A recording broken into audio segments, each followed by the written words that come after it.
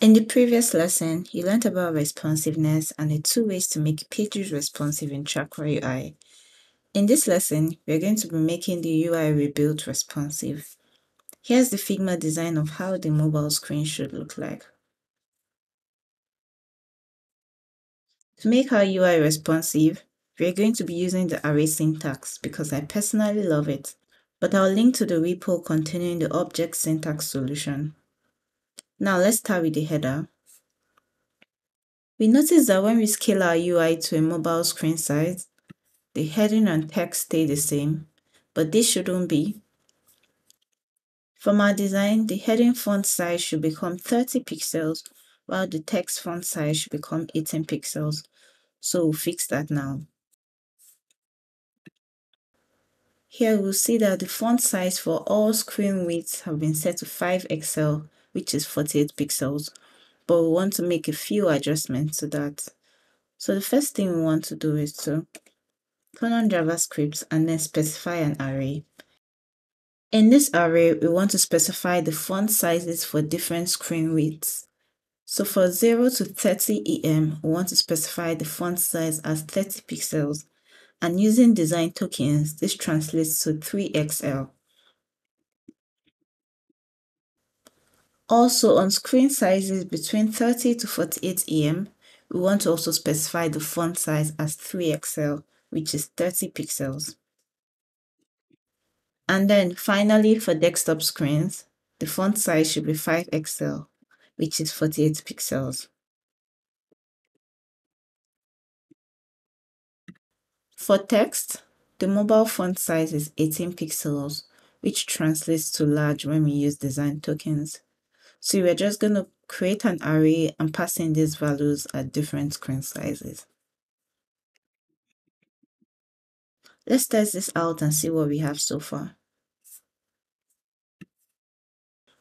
Now, there's just something we need to fix, which is the text alignment. From the design, the heading and text are left aligned and not center aligned. Let's fix this.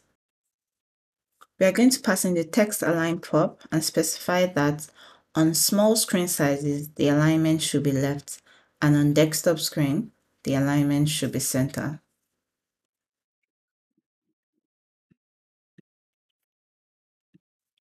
Yeah, this is what we want. So let's move ahead to the next component, which is the pricing component.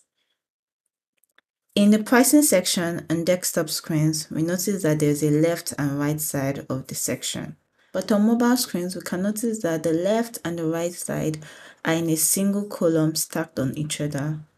We can achieve this behavior by passing the direction prop to flex and specifying it as column on mobile and small screen sizes and row on desktop screens.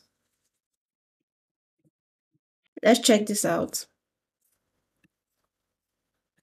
Oh, we can see the layout immediately flips as a column and this is what we want. The final thing we want to add is to add some margin on either side of this section. From the design, we have the margin as 24 pixels on either side. So let's add this in.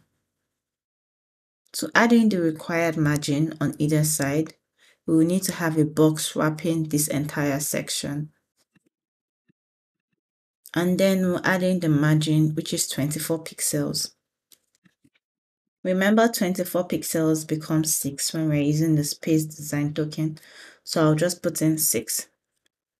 Let's check again. Cool. Another thing you notice here is the alignment. At the moment it's center aligned, but we need to make it left aligned on mobile screens.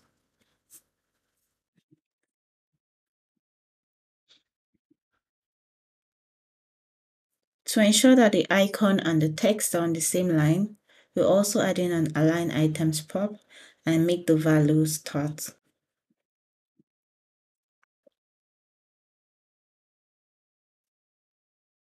Finally, we notice that the font size for this price is really big and we need to tone it down. From the design, this should become 48 pixels and not 60 pixels.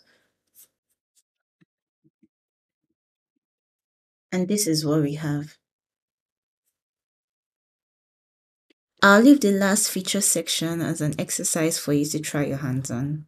Just follow the same logic to make each element responsive. Remember to check the code sandbox and repo to see my solution. As always, thanks for watching and see you in the next video.